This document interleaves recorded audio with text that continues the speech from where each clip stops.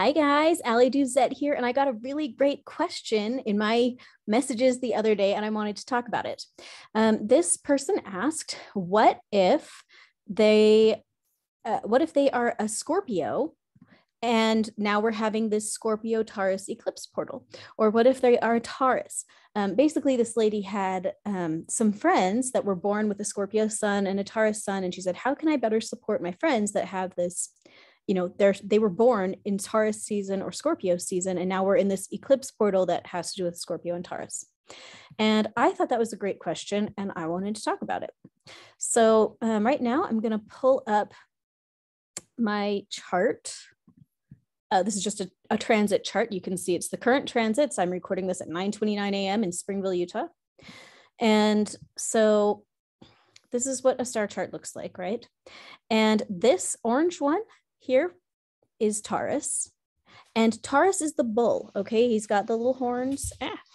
And so this, this is Taurus. And this is the sun. It's a circle with a dot in it. So if you run your own chart, uh, I mean, most people know if most people know what sun sign they are. You can just Google up your birthday and be, say, "Oh, I'm a Taurus. I'm a Pisces, whatever." Um, but this is what Taurus looks like on a star chart. And this down here, that M with a scorpion tail is Scorpio.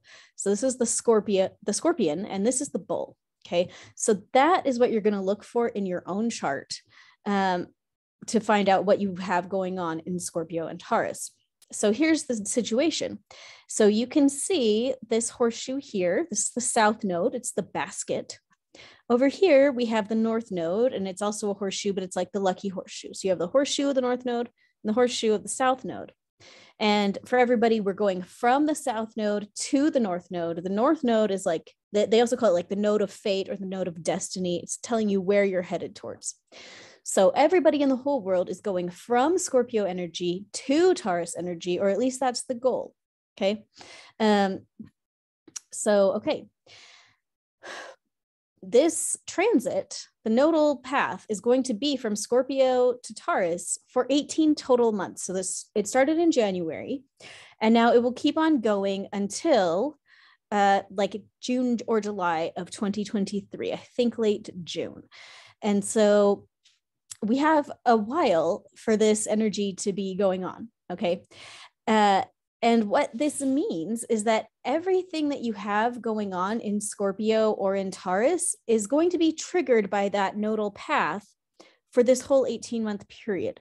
So if you have Mercury in Scorpio and the South Node is transiting Scorpio, uh, to me, that's telling me that you're going to have this 18 months to really be evaluating what generational baggage, like ancestral issues, inherited issues, um, secrets, uh, hidden stuff dealing with your ability to communicate. Okay. Because Mercury deals with communication. Okay. And Scorpio deals with other people's resources, inherited stuff, secret stuff, death and birth, um, all of that kind of thing. So as that South Node is transiting, it's going to kind of like trigger whatever planets are in there. So what if it's your sun? That's the real question. So what if you are a Scorpio? What if you are a Taurus? What is going on here with this eclipse portal? And and with the with this 18 month period of this situation. Um, so with as far as the 18 months, to me what this is just saying is that the universe at this time is primed to show up for you with situations that will organically force you to deal with uh, whatever you have going on in Scorpio and Taurus as far as it relates to your destiny, okay? Like your overall life mission.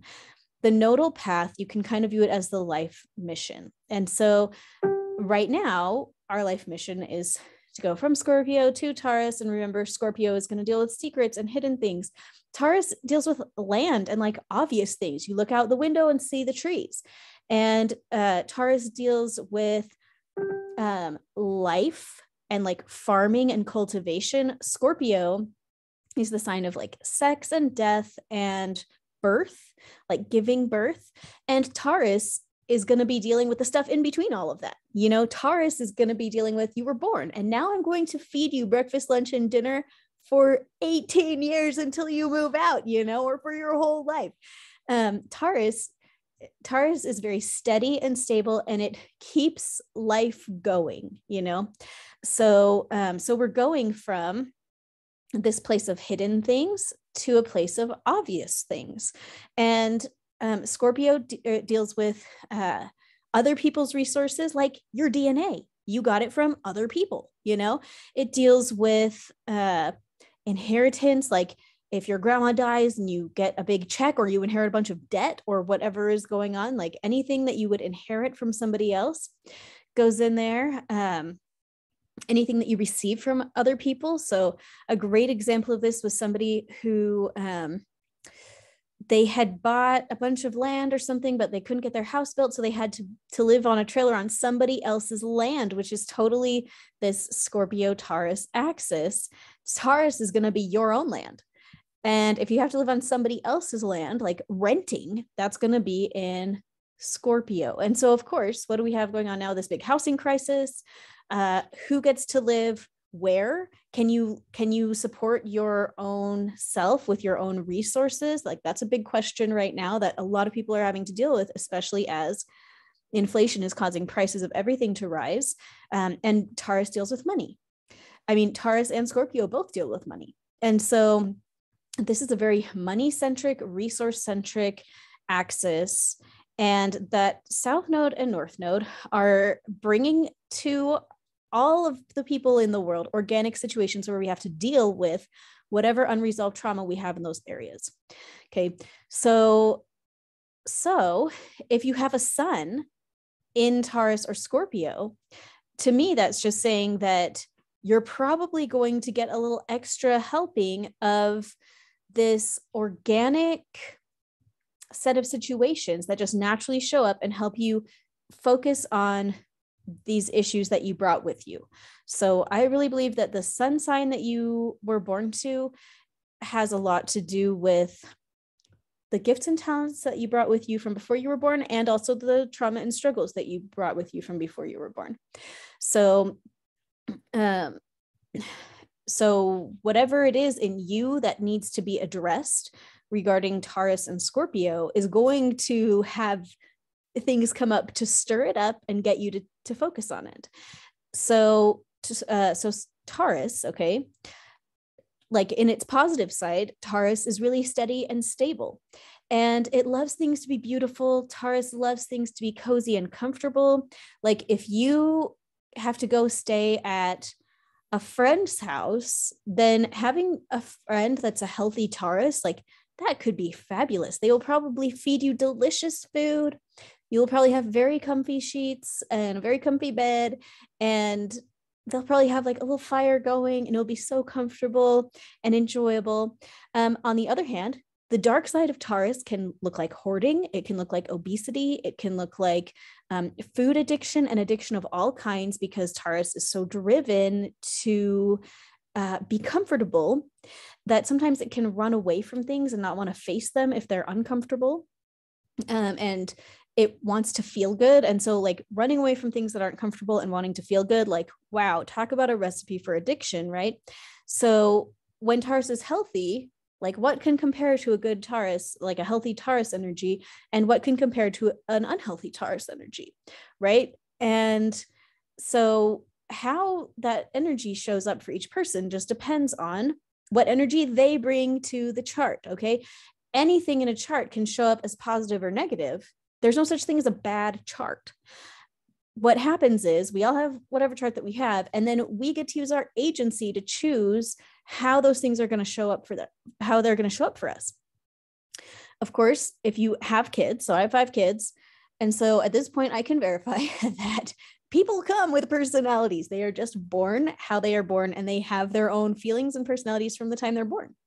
And um, my mom would always joke that we, um, that me and my siblings all had our personalities like in the womb, where, you know, my my brother like if people touched her belly he would like cuddle up to their hand. And when people tried to take an ultrasound for me i just kicked the uh, the ultrasound wand away and all they got was pictures of feet and they couldn't ever find out my gender before i was born. Um, but you know we come here. By by the time we're already in the womb we have these personalities, right? And so we come here with this chart and we've already begun that process of expressing whatever is in the chart with whatever the core energies are that we came here with, healthy or unhealthy. And I have a whole book about this. It's called Deep Past Resolution on Amazon. Recommended. Love it. I think all the humans should read it and I think you'll get a lot out of it. But uh, but the point is that the the sun sign that you're born in, it you come here with that sign because you have a lot of the gifts that are associated with it and probably also a lot of the trauma associated with it. So, for example, I'm a Virgo. This is Virgo right here. And Virgo, in its positive side, is really reliable. It's an earth sign like Taurus, so very steady, earthy, like it will just reliably step forward and get the job done. Um, very logical and analytical. But the dark side is it's very critical. It can be very judgy, judgmental. Um, it can put logic above everything else, uh, including like relationships. And it can be very tactless and unkind, not on purpose, but it's just, it just doesn't, Virgo energy doesn't hold space for people's feelings. Like it just wants to think about things. A Virgo, a Virgo moon is going to be thinking their feelings instead of feeling their feelings. A Virgo moon will have a very difficult time feeling their emotions less than like they will think their emotions instead of feeling them. And so for myself, I feel like I came down with those strengths and those weaknesses. And then my life journey is about figuring out how to step into the strengths and you know address the weaknesses and learn how to you know be logical and be thoughtful about things and um you know be a wise judge instead of a judgy judge, you know, and learn how to hold space for other people and how to present information tactfully and with regard for other people's feelings and this kind of thing. So let's go back to Taurus and Scorpio. So I talked about Taurus's gifts, like the healthy Taurus and the unhealthy Taurus. Healthy Scorpio is going to be incredibly loyal because one thing with Scorpio, Scorpio energy, one of the trials it has to deal with is betrayal. And pretty much anybody with a Scorpio sun will tell you yes, they have dealt with betrayal. It is the super worst. No no other sign will take betrayal as hard as a Scorpio. Scorpio it a, a betrayal to a Scorpio will just rip them apart. Okay? So Scorpio energy um you know, in its light, it's going to be so loyal. It will absolutely be the most trustworthy sign of the chart. You can tell your secrets to a healthy Scorpio, and they won't just keep your secrets, but they will help you get to the bottom of your problem and come out on the other side. Scorpio is the energy of death and birth, right? Um, it's the bookends to that Taurus energy that's just like again, the three meals a day for life. Scorpio is the one in the cave, it's the one in the stable, right? Giving birth in the darkness. Okay. And then it's the energy that's going to be there while the souls pass from this life into the next as well. It, uh, a lot of people with Scorpio energy can be a little bit on the morbid side. Like there's, there can definitely be this little fascination with death. Um, Scorpio energies, that's where you would look if somebody's dealing with depression or like suicidal ideation or anything like that. You take a look and see what's going on with Scorpio. But um but the thing about Scorpio is that I think about it as the energy of baptism. You have to go all the way under the water and then stand back up again. You know, you experience a tiny death so that you can have a new life. And that is the message of Scorpio. And that's um, the Scorpio life cycle is full of deaths and rebirths, and it's not always fun. A lot of Scorpios will tell you it's not fun. Scorpio is actually the least fun. is the least fun sign of the chart, I would say. Scorpio and Capricorn, I vote, are the least fun. But um, but it is so necessary and so beautiful every person alive needs to go through a death and rebirth process in some respect. And Scorpio energy facilitates that and allows it to happen. Um, in its positive side, again, so it's like loyal, it's facilitating these deaths and rebirths. It's the one that you can count on to be that midwife, that doula, um, that death doula. A Scorpio energy is going to feel really comfortable with kind of like darker situations a lot of times. Um, they are willing to face things that other people aren't willing to face. They dig deeper. They just go that much deeper. Again, Scorpio is often linked to things like plumbing, which is so funny. Um, and with this eclipse portal, somebody messaged me yesterday that there was a big pipe leak or something up in Salt Lake City. I don't know. I didn't see anything about it, but what this person sent me. And I thought, yes, that's like so Scorpio or the, the Supreme Court leak, right? But um, having Scorpio, having prominent Scorpio, especially in like your 10th house or something, would indicate that your career would be going deeper. So a lot of people with prominent Scorpio career stuff in their chart, they could be doctors, especially surgeons, digging digging deeply within the mysterious depths of the human body. Uh, they can also be plumbers, actually dealing. I mean, Scorpio is a water sign, and what is more Scorpio than like a bunch of pipes 10 feet underground, right? Like that's so Scorpio. So all of that goes with Scorpio as well. Um, and I just had this beautiful thought about Scorpio and it just left my mind suddenly. Come on, brain. Scorpio, Scorpio. Anyway, so in the dark side of Scorpio, Scorpio can betray you, um, especially in revenge. If if you if it feels like you have betrayed it scorpio will betray you right back if it's in a dark place. Um, it can be very depressed. It can deal with things like anxiety. Oh i was going to say that's the other positive thing. Scorpio is a healer sign as well because it is a water sign which is very intuitive and scorpio digs deeply. You know if you have a problem that is so deep within you you can't see it somebody with a prominent scorpio energy might be able to help you through it. Like if you have a, a healer that has some prominent Scorpio stuff going on. So, um, but anyway, Scorpio, the dark side of Scorpio is like pretty dark. Like dark side of Scorpio, that's where you get self harm. That's where you get like suicidal ideation or more than that. And um, lying, Scorpio is an energy that when it's not healthy, it can lie to you just for the sake of it, you know? Um, so so pros and cons. So so you you get born your scorpio sun how is that going to show up for you? Are you going to be this compulsive liar? Are you going to be this super loyal healer that's like massively intuitive and you look at people and like see their depths and you love them and want to defend them? Like both of those things are going to be two different sides of scorpio.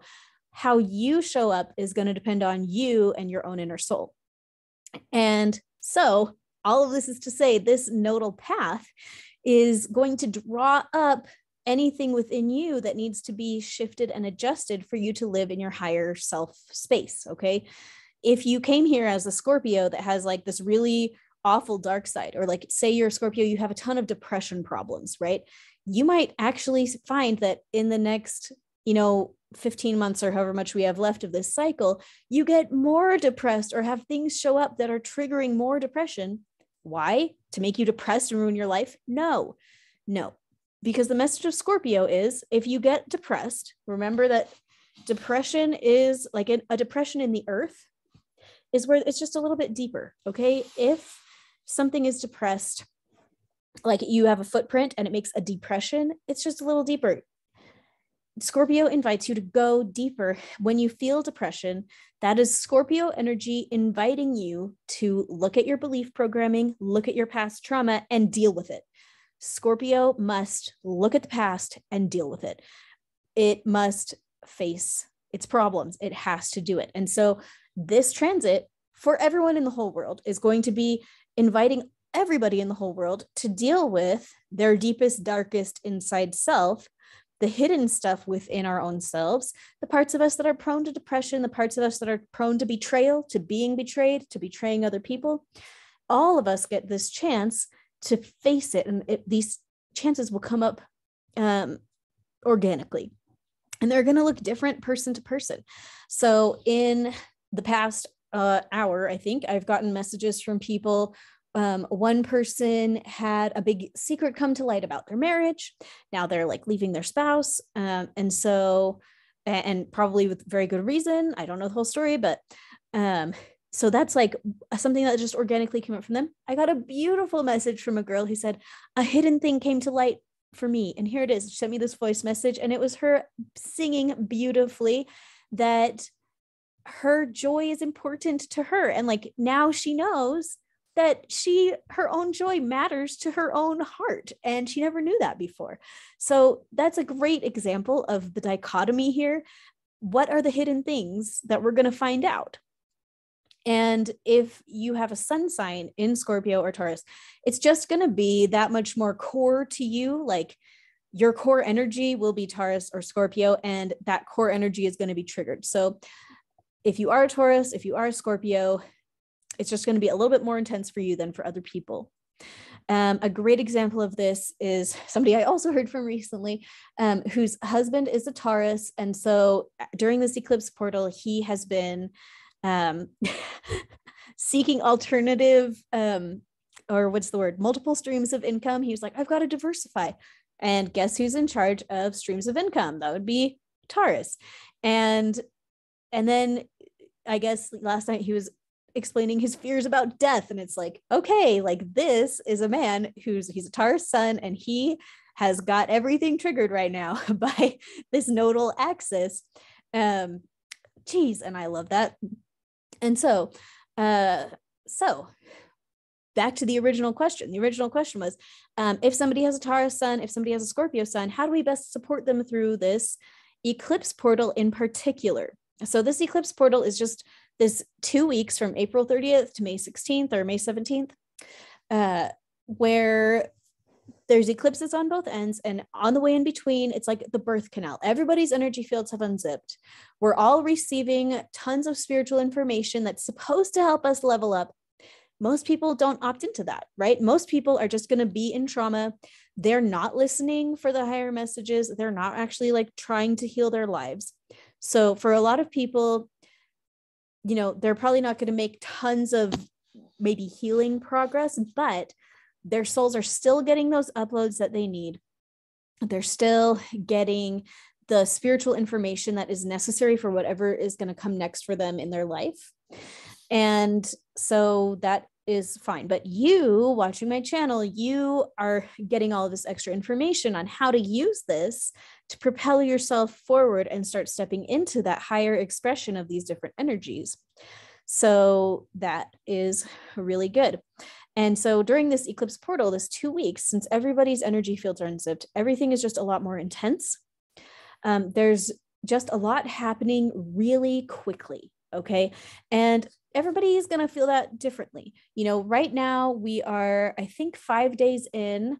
And for me, I'm like, has it been that crazy for me? Like, no, but, um, but guess what? We've still got, you know, over a week to go.